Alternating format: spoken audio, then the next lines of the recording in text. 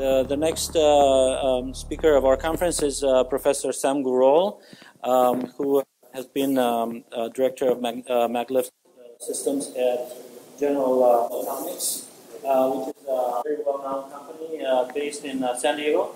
Correct. Um, Sam Gurol has been involved with, with many projects related to uh, the maglev uh, technology and has been uh, kind of inspirational for me and many others in learning about uh, what has been done and what has been actually built. You know, he's going to talk a lot more about this, so I'm glad to, to introduce him. Thank, Thank you. you very much. I appreciate being here, and I appreciate following colleague Marcel.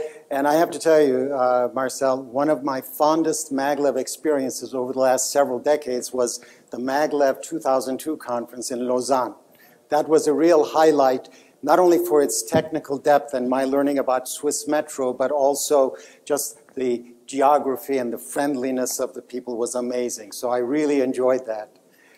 Uh, I do want to, while we're waiting for the uh, screen to show my slides, I also want to tell you that I've been lucky that over the last several decades, I've been involved with a number of maglev development projects. I didn't realize it until I decided to come up with a title for the talk that they've all been electrodynamic maglev systems, repulsive maglev systems of the type that Hyperloop uh, is currently planning to use. So what I thought would be interesting would be to tell you a little bit about worldwide maglev systems, my interaction with some of the uh, projects over the decades, and I'll show you a number of pictures where I look a lot younger I know it's hard to tell from the distance, but you'll see that I have much more hair and it's less white. And so it's kind of interesting to look at these old pictures of yourself.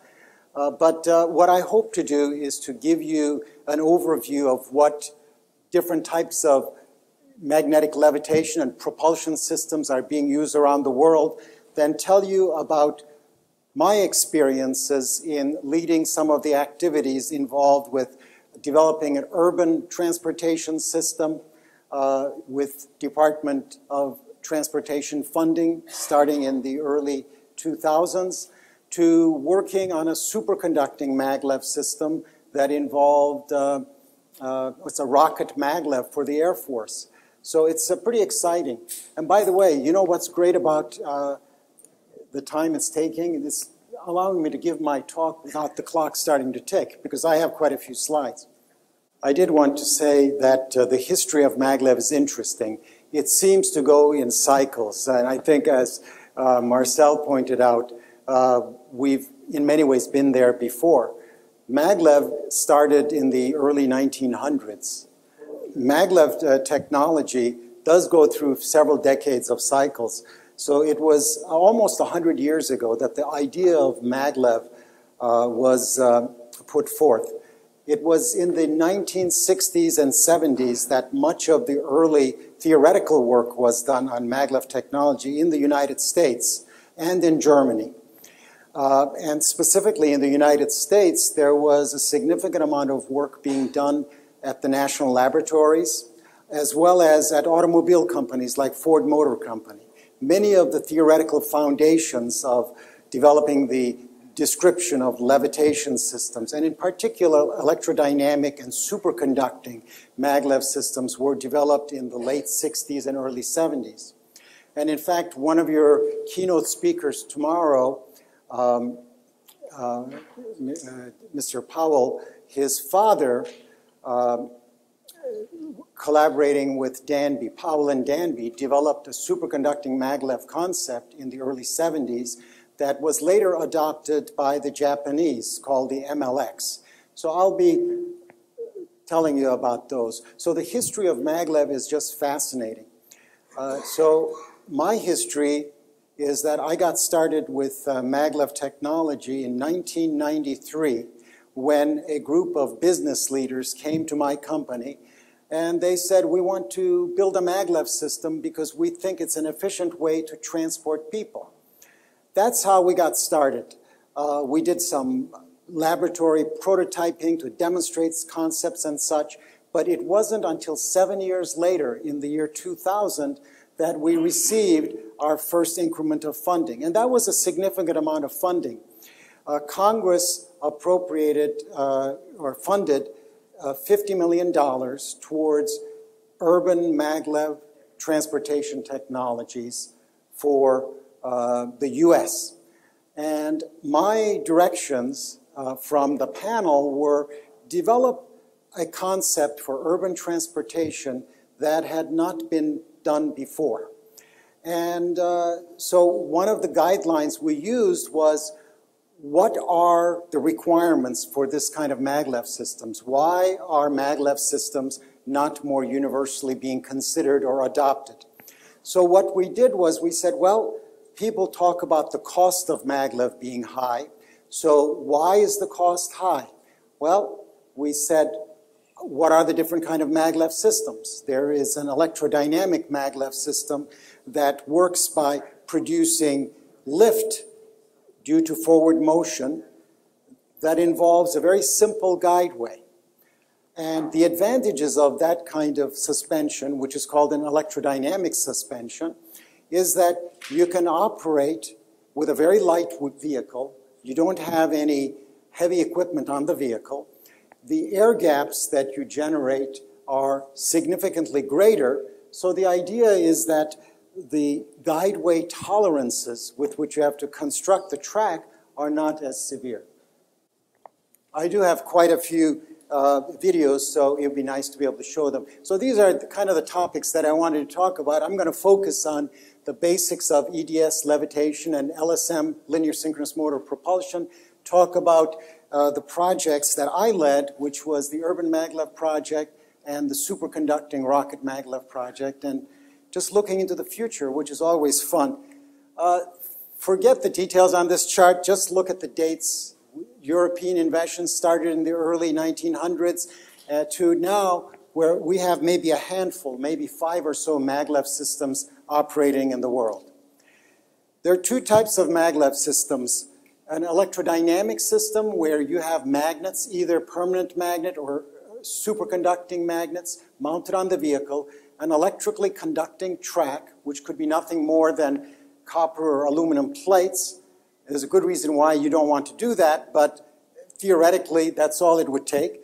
The vehicle would start out, as Marcel pointed out, uh, uh, on wheels. Once it reached a certain critical speed, there are enough currents generated in the conducting track that it produces lift. And I'll show you the details of that more in the following slides. But that's an electrodynamic system. Uh, the advantage of that is that the vehicle is lighter. You don't have any levitation power equipment on board the vehicle, and the air gaps that you can attain are very large, ranging from two and a half, three centimeters up to 10 centimeters typically. Then there is an electromagnetic or EMS system, which consists of electromagnets that are mounted on the vehicle. The electromagnets, when they're excited, get attracted to an iron rail on the guideway. There are gap sensors that precisely measure the air gap. There's a feedback control system, and it provides a very nice, very stiff magnetic suspension uh, but it requires you to have very small air gaps on the order of a centimeter or less and uh, there are a number of examples of these systems working worldwide very nicely. But the disadvantage is that it's a small air gap and it's actively controlled.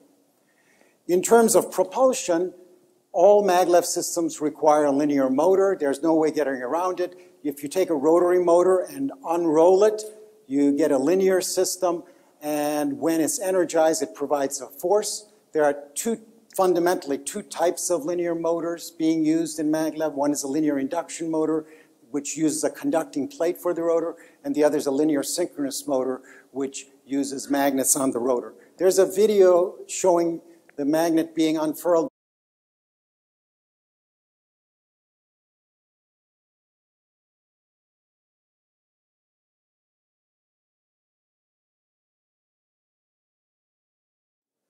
And just looking at examples of linear synchronous motor and linear induction motors being used around the world. On the left, we have uh, the system that I developed, which uses linear synchronous motors mounted on the guideway, propulsion magnets on the vehicle in this wraparound structure, and that provides the thrust force. Uh, another example is that being used by the Transrapid, which is the German system that is now operating in Shanghai, China. Linear induction motors are typically used for lower speed urban vehicles, and a linear induction motor is typically several meters in length, mounted under the vehicle. Here you see the Linimo line in Japan, and there's a conducting rail in the middle of the guideway. A number of rail systems around the world also use this system. The worldwide maglev systems are shown here, and with the exception of the MLX, the high-speed Japanese system, and the General Atomics system that I was involved with developing, they're all, uh, they all use electromagnetic suspension for levitation, and uh, the MLX and the GA system use EDS levitation. MLX uses superconducting magnets. Uh, they're now testing high temperature superconductors, which have big advantage.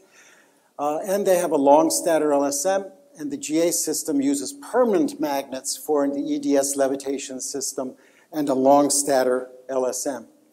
This just shows some pictures of some of the um, some of the connections we made over the years, and uh, this is the Korean UTM test track, which operated between 1990 and 2000. Dr. Inken Kim, a very good friend of mine, was the father of the Korean maglev technology, and I was lucky enough to be able to hire him in 2000 to help with our maglev development, to capitalize on lessons learned. Uh, the system now is beautiful and running at the Incheon Airport uh, in Seoul. It's about a three-mile airport people mover system. It's absolutely uh, exquisite in its design and it goes right into the airport terminal. Just a beautiful showcase for maglev technology. So if you ever go to Seoul, make sure you ride it. This is the Linimo line in uh, uh, Nagoya, Japan, built for the 2004 World Expo. These are just pictures we took when we were there a number of years ago. Here we are meeting with the president of the HSST, Mr. Fujino, who later became a very close friend. Uh, another maglev system that uh, sets the standard for high-speed transportation is the Shanghai Transrapid system built by Siemens and ThyssenKrupp. It started operations in 2004 and uh, was built very quickly. This is the kind of acceleration it has. For $6, one-way ticket, you can ride 19 miles in about seven minutes. It's a spectacular ride and it works beautifully. This just shows a full-scale cross-section of that to give you an idea of the scale. Here you can see the um, levitation magnets. This is the Japanese MLX.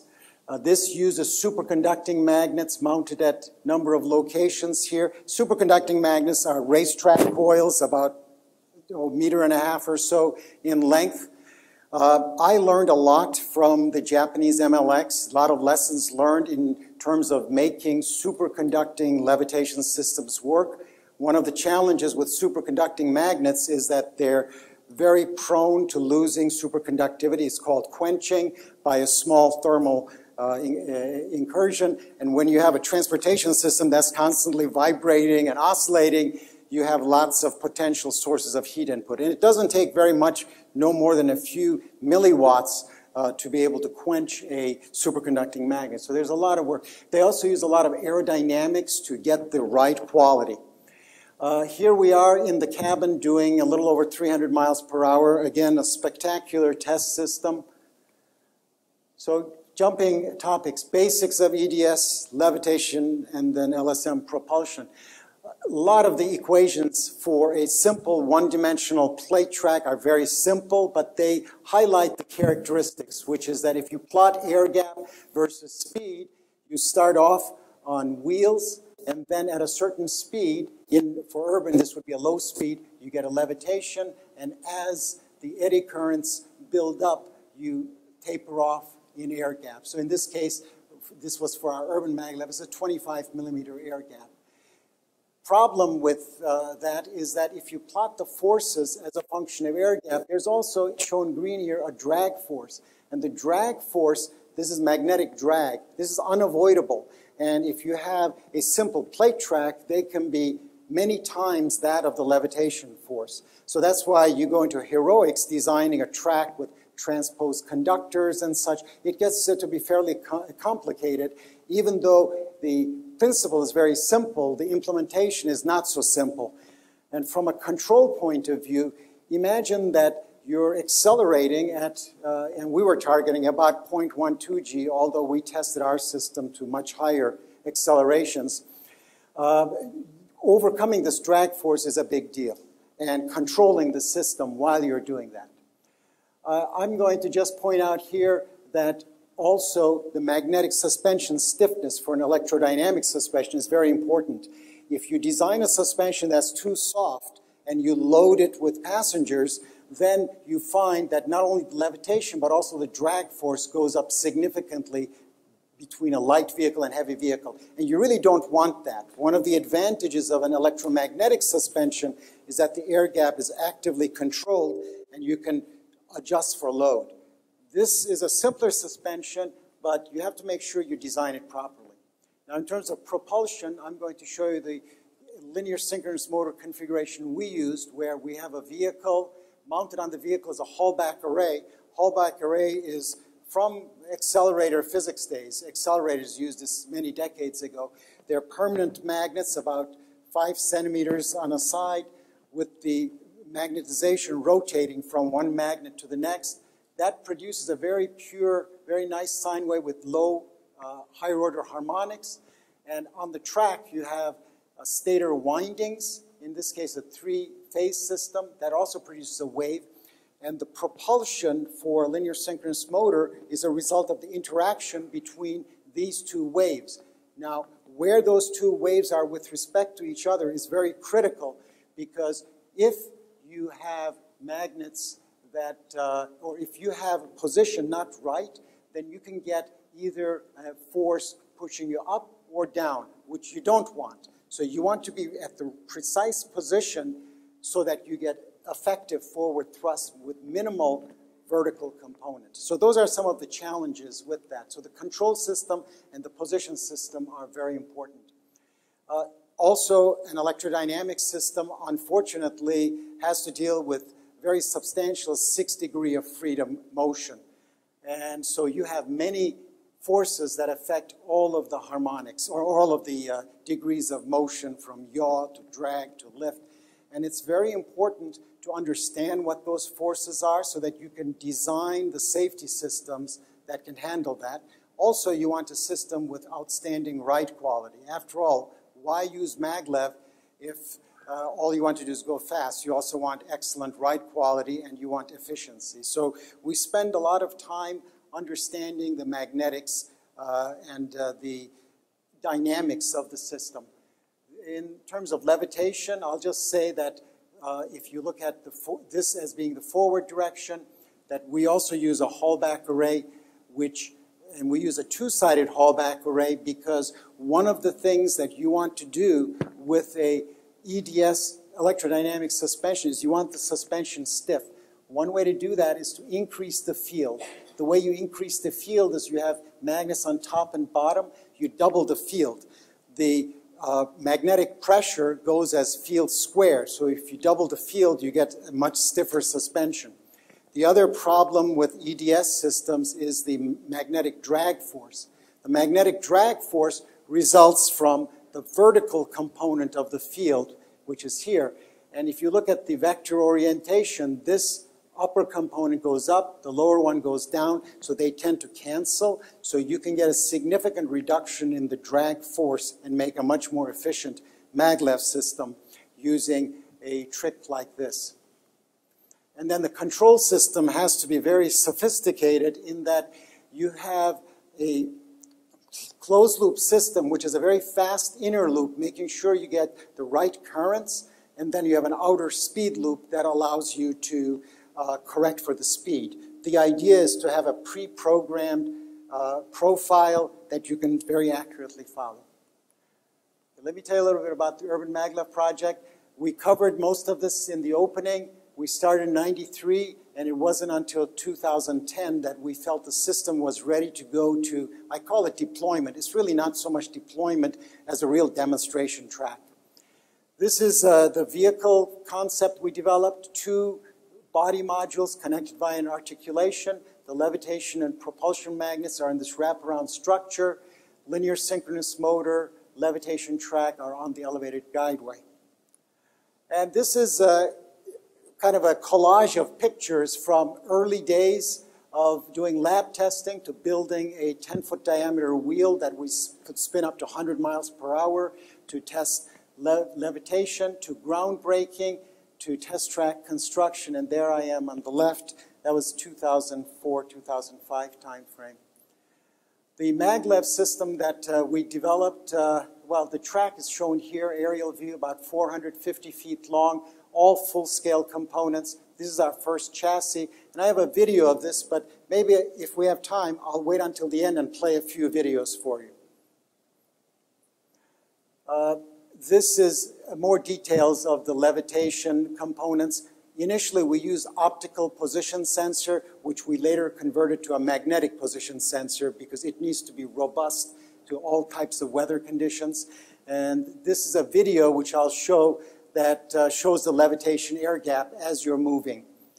Actually, we had National Geographic filming a segment on us, and uh, they put the camera under the vehicle. You also need to have block switches where you don't power many tens of miles of track. You, might, you power only the section of track around the vehicle. So you have an electrical block that's moving with the vehicle, and you use solid-state switches to be able to do that. Uh, the other thing we did, uh, these are all the, of the uh, program activities for developing the technology, including giving rides to reviewers. And uh, I'll tell you, if you give someone a ride on this, the review goes great, but you give the ride before the review. And then they, uh, they're just delighted with what they've observed. this is two of the chassis we built connected via an articulation. And by the way, it proves that the ride dynamics is dramatically improved when you have a longer vehicle. And so one of the mistakes we make is we have very small chassis, short pods. The ride dynamics is very different than a longer vehicle.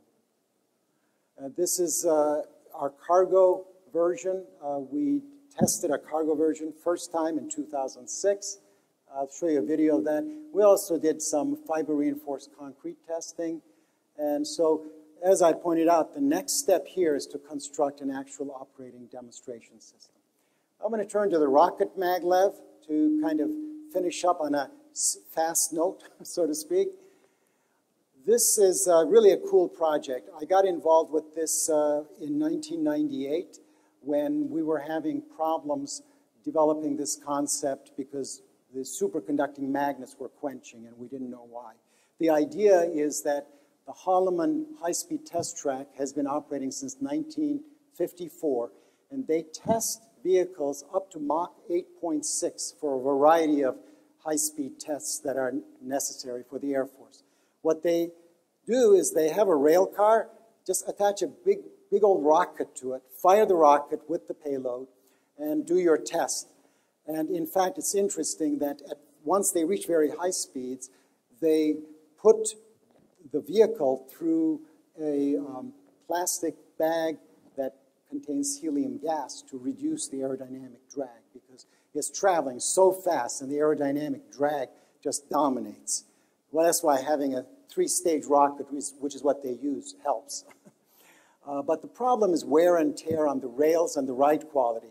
The rail they have is shown here with a slipper that's mounted on the vehicle. You see the slippers and rails here.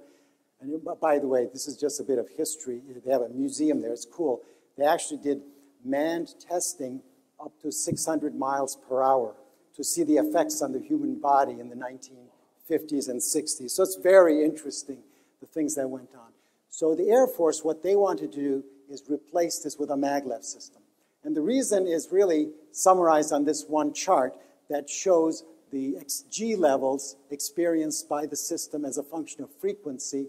And this is where the hypersonic rail or the main track uh, end up at about 18 to 80 Gs. What they want is this red curve. That is a standard missile at 3.5 Gs.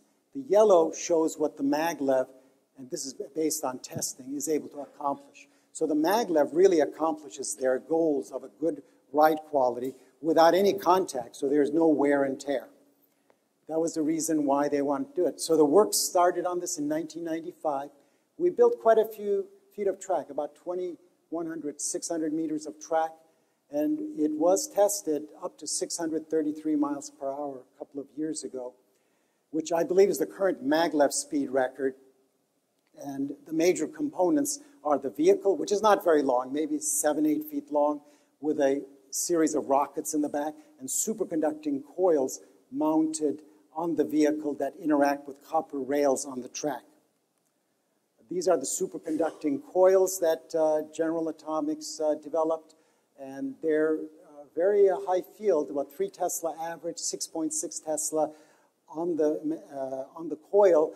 And again, remember what I said, that for electrodynamic levitation, field squared is what's important.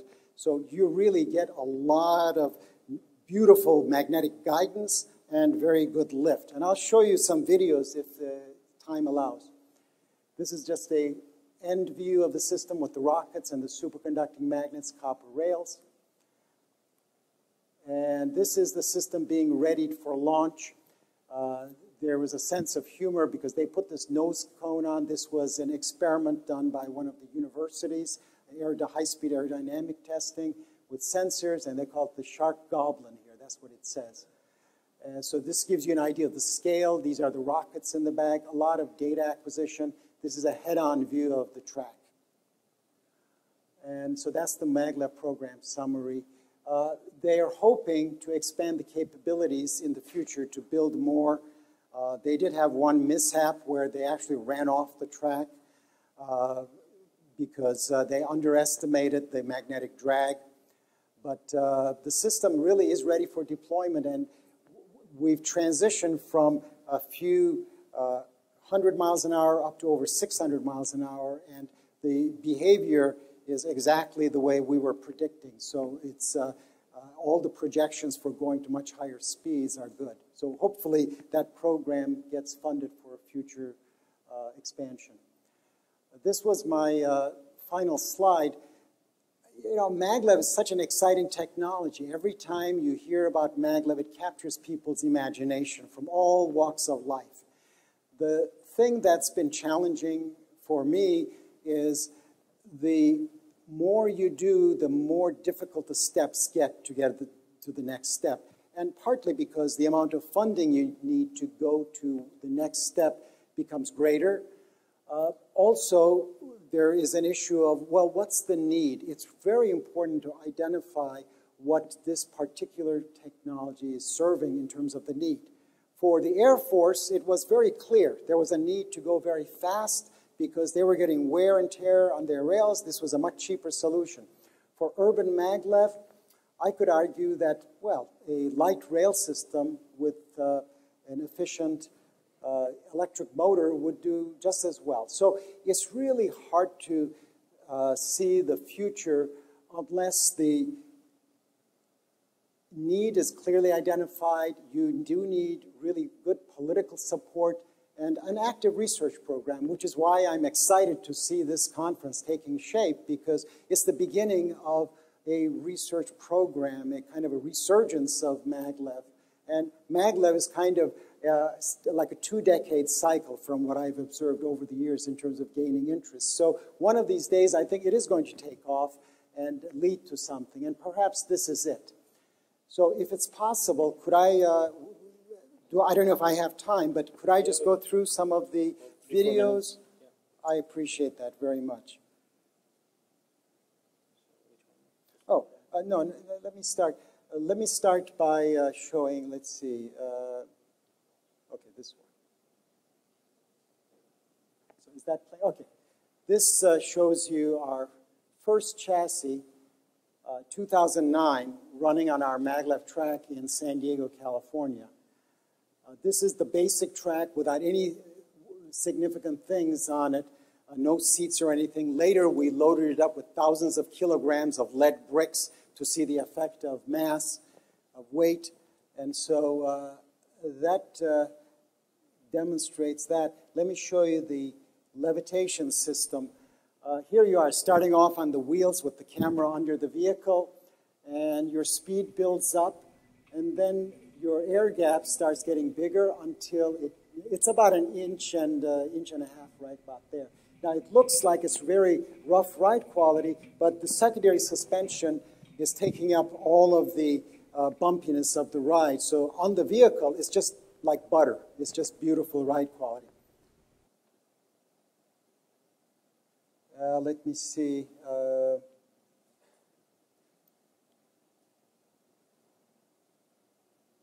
okay, this is an early rocket maglev launch. It's only 423 miles an hour, but I thought it'd be interesting for you to see it. Uh, this first one is at uh, normal speed, and there's nothing like a rocket firing off, right? It's pretty cool. Now here, this is showing the levitation. This is slow motion. Just watch this air gap here. Watch it grow. You can see it picking up.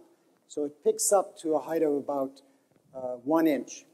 And it's very, very stable because the fields are significant. These are about the same fields as the Japanese Two, MLX. One, and here's zero, a full speed fire. firing with a wider view.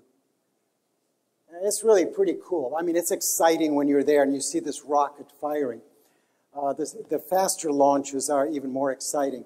And the thing that brings it to a stop is the magnetic drag. That's all we have. Copper plates, they're the worst thing for efficiency, but the beauty is they stop the vehicle quickly, and uh, when you have a big old rocket, it doesn't really matter. You don't worry about efficiency as much.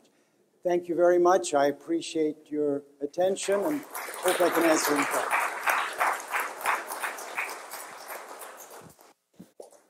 Exciting.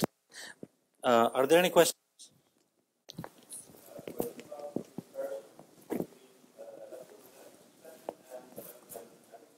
Yes.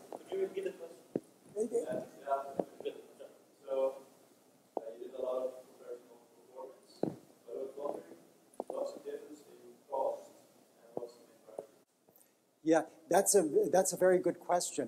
Uh, it's really hard the question was, what are the differences between uh, the uh, electrodynamic and the electromagnetic suspension, and what about the issue of cost? You know, uh, when we compare the cost of maglev in general with conventional rail, the big cost difference, people don't compare costs on an apples-to-apples -apples basis usually. If you uh, look at the cost breakout, the maglev technology itself doesn't add a lot to the cost. What really adds to the cost is that maglev systems are grade separated, they're elevated, separated from traffic. That's what really adds to the cost. In terms of the differences, your specific question between an electrodynamic and an electromagnetic system, I don't think there's going to be a lot of difference. There's going to be uh, some differences in performance perhaps. I do think that at very high speeds, an electrodynamic system is a better approach because it is potentially safer if there's a problem with the levitation control system. I don't think there's going to be a big difference in the cost. The electromagnetic suspension systems have a number of advantages, though. One of them is that I think, especially at the lower speeds, they have better ride quality. Uh, the other thing uh, is that uh, they're very efficient in terms of magnetic drag. They have virtually no magnetic drag. So it's really hard to say which is better. Uh, I think it depends on the application. If I were designing, even though I developed an EDS urban maglev system, I think for urban transport, an EMS system would be better. I think for ultra high speed, an electrodynamic system would be better simply because the vehicles are lighter and also fail safe in case of power failure. Pardon me? Oh, um, well, for transportation, the Transrapid was doing, what, about almost 300 miles an hour, 265, 270 miles an hour. I mean... Okay, the, the rocket maglev was very close to Mach 1, yeah.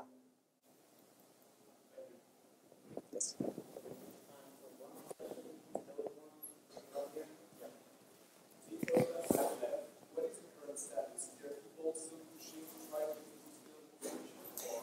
You know, so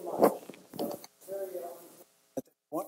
I think that's a little heartbreaking of us who are in technology development is that we work on many of these exciting projects and we bring them to a state where uh, we're hoping they go the next step. Uh, there is some interest. Uh, one of the uh, groups is the Colorado Department of Transportation is looking at a system to uh, move people from Denver Airport to the ski resorts. So they're considering advanced technology in the future. And uh, we have had significant interaction with them over the years. Uh, but uh, it's a very slow process. And there are several groups who are interested in cargo movement that are interested in that particular maglev system. But at this point, there's not much going on, unfortunately. It's a General Atomics project, correct. But again, in the interest of time, uh, we have to uh, stop here with the questions. But again, I'm invited to connect with the speaker or again. Thank you.